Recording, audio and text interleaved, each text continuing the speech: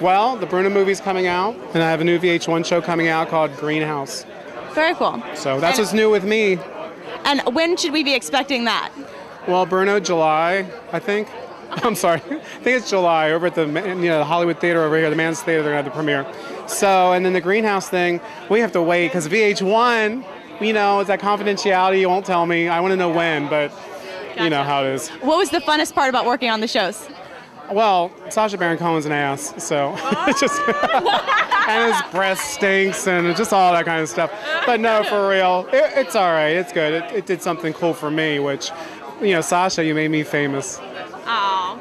Thank you, ExploreTalent, Daniel DiCrissio, and Lisa Lewa.